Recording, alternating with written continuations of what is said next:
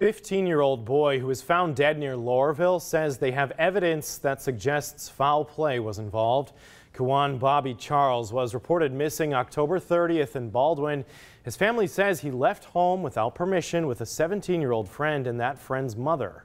His body was found three days later near Loreauville. The family tells us they were told by investigators that Bobby drowned, but they don't believe that, citing a graphic photo of his body that's circulating online. Three's on the street tonight. Iman Boyd joins us live from Iberia Parish. And Iman, why does the family believe there's foul play and what are investigators saying? Well, investigators here at the Iberia Parish Sheriff's Office aren't giving too much information about this case, but says an autopsy is pending.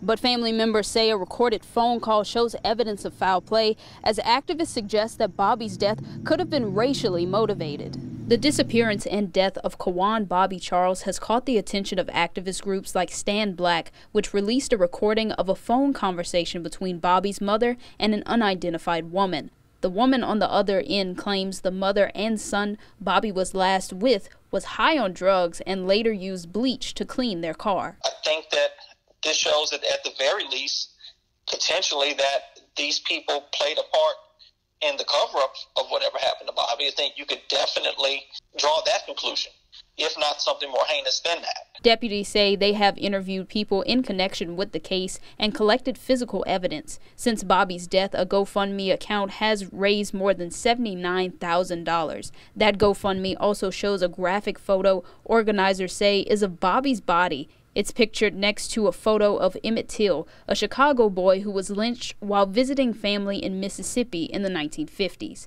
We asked the Charles family attorney, who specializes in civil rights cases, about linking this case to Emmett Till, any indication his death was racially motivated. They're children in the eyes of the law that died very horrific deaths. And that's the conclusion that you could definitely draw from that. Believe me, the, the, the cost of an independent autopsy is not cheap. Everything that's been done has been done in the spirit of getting justice and getting answers for Bobby. And Haley says Quawan's body will be brought to Texas on Wednesday for an independent autopsy. Threes on the street live in New Iberia. Iman Boyd, KATC, TV3.